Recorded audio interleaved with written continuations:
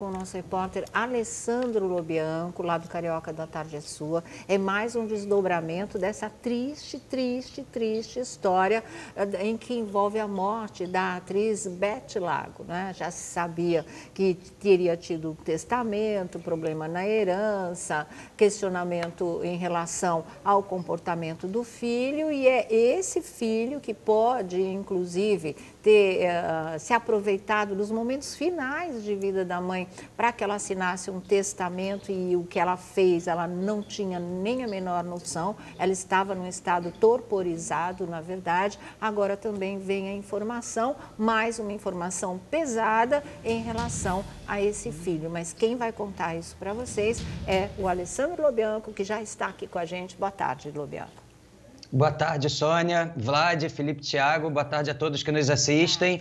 É, temos uma atualização importante, na verdade, algumas atualizações importantes sobre esse caso, porque, como a gente noticiou na última vez, Sônia, aquilo que a gente achava que pudesse ser uma predileção, né, de deixar 80% dos bens com o filho e 20% com a filha, acabou se tornando numa acusação do que a própria filha chama de captação dolosa, né, Sim. que é quando você tenta captar captar algo de forma ilegal. Essa acusação cresceu muito, Sônia, principalmente dentro do judiciário, depois que a gente noticiou aqui o caso no último dia 13. A gente noticiou com exclusividade esse caso no dia 13 e no dia 14, de uma forma é, até surpreendente, é, o advogado do Bernardo entrou na justiça pedindo segredo, sigilo desse processo. A juíza negou, não aceitou e, e, de forma surpreendente, no mesmo ato que ela nega o, o sigilo, ela mandou intimar em caráter de urgência para já ser julgado no dia 10 agora o Bernardo, o Guilherme Linhares, que foi uma das testemunhas que assinou o testamento, Sim. a Carolina Ohana, que também assinou o testamento, era uma das amigas do Bernardo, o Tabelião, que foi no apartamento lavrar esse testamento, e também é a, a moça que trabalhava já há 30 anos com a Beth, a Marilúcia. Sim. E, e, o que, que a gente teve acesso exclusivo ao que já está nas mãos da juíza, Sônia. E, e, uma informação muito importante, Sônia, que eu vou até ler como está no site do TJ, a juíza já pediu presença do Ministério Público nessa audiência. Olha. Ou seja, se o Ministério Público, ela pede vistas ao Ministério Público, é porque a coisa já pode enveredar para uma área criminal, que é atribuição do Ministério Público, porque estamos falando de uma possível fraude de um documento público, um testamento público. Então a juíza diz com essas palavras: designo o dia 10 do 9 de 2019 às 14 horas para realização de audiência de instrução e julgamento, ou seja, ela já vai julgar logo o caso, mesmo sem o Bernardo ter apresentado defesa, os Sim. documentos estão tão embasados que ela não vai nem escutar ninguém. É claro, ela vai fazer algumas perguntas, claro. mas não cabe nem mais ao advogado do, do Bernardo apresentar defesa. Ela já vai dar um veredito ali, já vai é de instrução e julgamento. E ela fala: intimem-se todos com urgência e deficiência ao Ministério Público. Quer dizer, o caso passa a ser bastante grave. A gente teve acesso exclusivo, Sônia, o que Sim. já está nas mãos da juíza e o que vai Vamos ser lá. discutido. E a gente tem esses documentos aqui para mostrar, Sônia. O primeiro quesito que vai ser discutido é que já foi configurado erros técnicos no testamento que comprovariam que a Beth nunca iria deixar passar esses erros se ela tivesse em, em uma condição ali plausível de ver o que estava assinando. Que erros são esses, Sônia? Os dois principais que eu destaco. Tá. O nome da mãe da Beth Lago tá no testamento errado, quer dizer, a Beth não viu que o próprio nome da mãe está errado Ixi. e duas coisas ligadas à filha que estão errado no testamento. O próprio nome da filha e a data de nascimento da filha? Como é que a Beth iria errar nesse testamento a data de nascimento da filha, o nome da filha e o nome da mãe?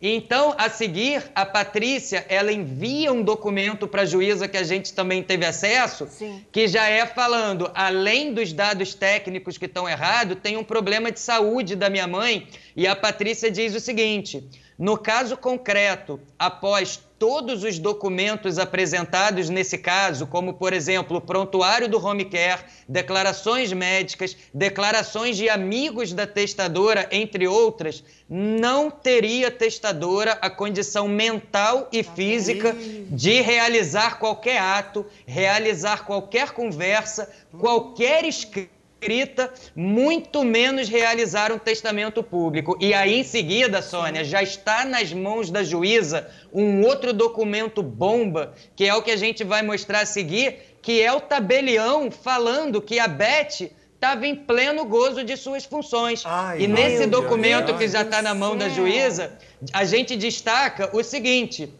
é, que a ortorgante se encontra em seu perfeito juízo segundo o meu parecer e das testemunhas idôneas.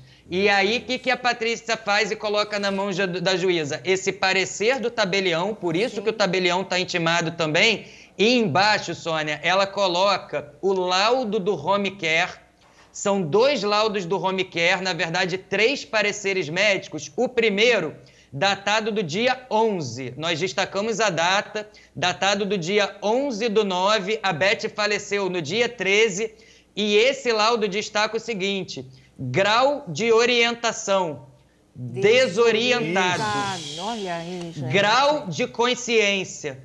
Torporoso. Torporoso. Torporoso é. é a classificação, Sônia, do pior grau de consciência. Uhum. Isso é o laudo do dia 11. Nós conseguimos com exclusividade também, vamos colocar o laudo do dia 12, quer dizer, a médica retornou na véspera do falecimento e o laudo continua o mesmo. Tá. Só muda a data, dia 12, mas continua. Sim. Grau de orientação desorientado, grau de consciência torporoso. O e emocional o que... agitado, né? Também aponta. Emocional agitado uhum. e a, a acuidade auditiva e de fala não pôde nem ser avaliada, porque já estava completamente comprometida. Então colocam ali, sem condição de avaliação. Sim. Então quer dizer, para agravar isso ainda mais, Sônia, a gente tem um terceiro parecer de um médico particular que teve 10 dias antes, que ele diz o seguinte: é, da total falta de vitalidade da paciente, que não conseguia se locomover sozinha, mal conseguindo balbuciar algumas palavras,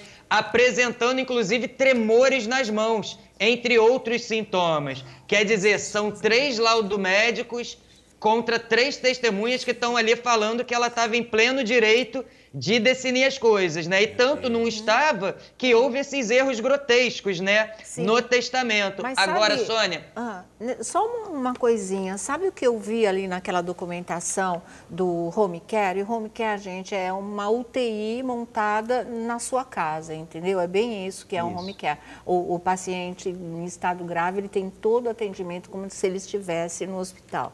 Agora, tem ali no documento um momento que fala, uma linha que fala da frequência cardíaca. Ali tem 48 batidas por minuto. Quem tem 48 batidas por minuto não A pressão atleta, dela, Sônia, estava é, 8 por 5. Exatamente. É, quem tem esse tipo de batimento não sendo atleta não se mantém em pé.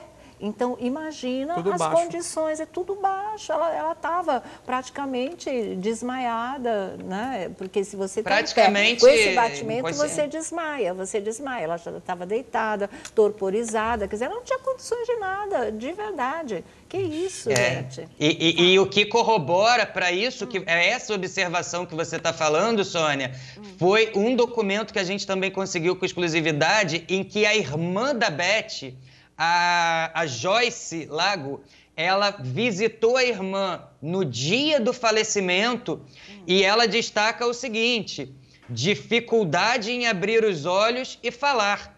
Tá ela coloca: é importante notar que, em suas palavras, a senhora Joyce relata fatos que chamam a atenção. Em seu último contato com a irmã, quando esteve em sua residência, Primordialmente, a mesma relata piora no estado de saúde da irmã, com a dificuldade de abrir os olhos e falar. Ou seja, ela já não estava falando nem enxergando, o que já corrobora o que o médico, dez dias antes, tinha falado. E aí a Patrícia é o último documento que a gente vai apresentar agora, que a gente também conseguiu Sim. com exclusividade, numa tentativa de mostrar para a juíza possíveis mafés é, das testemunhas e do, e, do, e do irmão, a Patrícia envia um documento que diz o seguinte: apesar da relação próxima que o suplicado mantinha com a sua genitora, que o suplicado é o Bernardo, enquanto viva, Após o seu falecimento, o mesmo se demonstrou um homem de caráter duvidoso, tendo retirado fotos, todos os eletrônicos, alguns móveis, alguns acessórios e roupas do apartamento da atriz após o seu falecimento, sem nem mesmo comunicar à irmã. E aí a gente lembra, Sônia, que nessa semana foi até pauta de todos os veículos de imprensa, uma sacola de lixo foi encontrada num lixo abaixo do apartamento da Bete Lago e o Gari sinalizou isso à imprensa e esses bens foram devolvidos. Mas o que chama atenção é que logo abaixo a Patrícia dá ciência para a juíza sobre o seguinte: a título de informação, o suplicado Bernardo, em novembro do ano de 2001, foi detido pela Polícia Federal no Aeroporto Internacional do Rio de Janeiro. Ele embarcava para Nova York com a mãe e ali foi informado pela Polícia Federal que tinha um mandado de prisão por drogas, por porte de drogas com o Bernardo e ele acabou sendo preso. Então, a Patrícia está levando tudo isso a juízo, ou seja, o, o Bernardo não é mais réu primário. Se a juíza decidir que houve má fé, que houve aí uma má conduta dele e das testemunhas para obter e produzir esse testamento, em face da presença do Ministério Público ali, Sônia, isso pode terminar já nessa audiência, terminando com pessoas indiciadas. Então, é um caso agora muito grave que a gente vai acompanhar. No próximo dia 10, irmãos aí, provavelmente cara a cara para já receber uma sentença sobre esse caso. Exatamente, viu? O Vladimir, inclusive, tá com essa história, não é? Dá para mostrar tá aqui? aqui pra... Olha, quando Vou saiu no, no, Jornal Extra, é, essa história dos Aí, objetos ó. terem sido achados e ninguém entendia como. Todo mundo ficou sensibilizado, lembra? Mas agora Sim. você junta essa peça em todo esse quebra-cabeça aí faz o maior sentido. Aí, ó. Catador devolve objetos pessoais de Bete Lago que encontrou no lixo a irmã da atriz. Então, quem colocou no lixo foi o próprio filho, então, é. segundo né, a, as observações. Aí. Aparecem documentos hum. supostamente fraudados. Uhum. E também alguém tentando se desfazer de documentos Sim, originais, reais, né? reais, reais. E aí a gente começa a juntar esse quebra-cabeça. Uhum. É, um seguidor através das redes sociais me lembrou desse caso que realmente, em 2015, é, teve essa, essa história de essa encontrar. História. E curiosamente, o catador hum. que na época tentava se livrar das drogas, é, entregou os objetos para a irmã, ela o ajudou com comida, é fã da Beth. Olha só. É, ele né? falou que assistiu às novelas, que, que uhum. enfim, que acompanhou uhum. a carreira da Beth Lago. E ele falou assim: ó, acompanhei as novelas Bang Bang e 4x4. Não tive a oportunidade de conhecê-la pessoalmente, mas com certeza esse encontro vai ficar na minha lembrança para sempre. Emocionou ah, aí é o rapaz quando tirou as sacolas. Sim, eu acho. Uh naquela é opinião de cada um, não é? mas uh, o Alessandro também, aliás, Alessandro, se justiça for feita nesse caso, isso se deve totalmente ao seu trabalho, porque verdade. ninguém tinha é conhecimento dessa coisa trágica em relação à morte da atriz Beth Lago. Parabéns, né? Bianca. O próprio Bianca, filho estaria fazendo esse tipo de coisa, fraudando um testamento da própria mãe e talvez se aproveitando da situação dela, à beira da morte para realmente fraudar um documento e poder ficar é com aí. todos os bens ou com a maior parte dos bens, lesando inclusive a irmã. Então, um único filho prejudicando a própria mãe e a irmã prejudicando, ela já estava às portas da morte. Mas é triste né, saber que alguém tem a coragem ou teria a coragem de fazer uma coisa dessa. Agora está tudo tão bem embasado em documentos, como o Lobianco, com absoluta exclusividade, está mostrando aqui no nosso programa, que é muito difícil uma juíza achar que, né, chegar à conclusão, examinando tudo que ela tem à disposição, chegar à conclusão que não houve fraude. É. Aí realmente a gente pode, é difícil. A, hum. a gente pode até, de uma certa maneira, com uma certa segurança também, é, talvez já deduzir o que a juíza vai decidir, porque essa juíza que vai decidir agora em caráter é, é definitivo se invalida ou não o testamento, é a mesma juíza que, em caráter de urgência, já aceitou o pedido dela para suspender uh, o testamento por meio de uma liminar até ser julgado agora no dia 10. Tá então, tá a juíza ela já encontrou elementos suficientes e já suspendeu temporariamente o testamento, e é a mesma juíza que vai julgar isso agora no dia 10. Você sabe que dia 10, então, nós vamos ter dois casos de repercussão Sim. nacional que estarão sendo julgados, que é o, o cunhado da Ana Hickman, Gustavo Ana Correia, Hickman. lá em Belo Horizonte, né, respondendo a essa acusação absurda de dele ter matado com intenção de fazê-lo ao perseguidor que quase acabou com a vida de todos, né, inclusive da apresentadora, e agora também o caso do filho da Beth Lago e das pessoas que participaram da assinatura desse testamento. Se é que essa assinatura não foi falsificada, porque é também uma coisa a ser questionada, já que como é que ela assinaria esse tipo? Acho que a assinatura dela vai passar por uma é. análise uma, também. Tem, hum. tem, tem uma pessoa que talvez possa tirar essa dúvida, Sônia, e que ela foi intimada também, mas não para responder por nada, apenas para tirar dúvida, que é o Clóvis que é o, foi o último namorado da Beth Lago, né? Sim, o Guilherme sim. Linhares, ele foi um ex-companheiro que depois estava ali como amigo. Sim. Mas o, o, Clóvis, ele estava lá no dia do falecimento dela, né? Então a justiça vai, quer dizer, ele conviveu com ela nos últimos momentos. Então a justiça também intimou o Clóvis, deixando claro que ele é só uma testemunha para saber um pouco melhor sobre os últimos momentos de vida da Beth. Tá certo. Que situação. Diga, Tiago. Ah, Sônia, olha, é muito difícil a gente triste, atestar. Né? Uhum. Primeiro, triste que o, ser humano se sujeita a algumas coisas que até Deus duvida, né? Uhum. Essa matéria do que. Não são de Deus, não, né? Até Deus uhum. duvida. Essa matéria que o Vlad trouxe, porque eu me lembro que na época a gente falou, gente, mas como assim? Achou no Tão lixo. Né? né? E é. aí... Agenda telefônica com, com o elenco da Globo inteiro. É, no lixo. Uma medalhinha de Nossa Senhora de isso, prata. Isso. Na época, o catador. Tá até aqui a imagem, ó. Uhum. Porque assim, a, alguém estava querendo se desfazer para não deixar... Coisa, olha, olha aí, ó. É é, é, é, como é que fala? Era tipo... Limpar os detalhes. Limpar os uma detalhes queima de arquivo? Mesmo, uma queima assim. de arquivo, é. Porque não tem explicação. Essa limpeza de é. qualquer pista uma, uma, em relação às um, coisas dela. Diga. Um, uma indagação importante que a Justiça vai fazer, que isso a gente também teve acesso, é, é, a seguinte pergunta: já que quando um pai ou uma mãe falecem, já é automático o direito à herança dos filhos, por que a necessidade de se fazer um testamento? A partilha, né? A, a, o direito Isso. à herança, sim. sim. Agora, a parte de cada um pode ser decidida pelo, pelo dono, não é? Uh, através de um testamento. A disposição dos bens, exatamente, né? É. Exatamente. É, eu, eu ontem, Sônia, hum. eu me encontrei com uma pessoa que me encontrou que ela tinha o objetivo de tentar me levar até o Bernardo, para que eu escutasse o Bernardo ontem sim. à tarde, e é uma pessoa que é muito próxima do Bernardo, convive com o Bernardo e que diz que presenciou ali também a morte, a hora do óbito, do falecimento da Beth, até me descreveu como teria sido isso.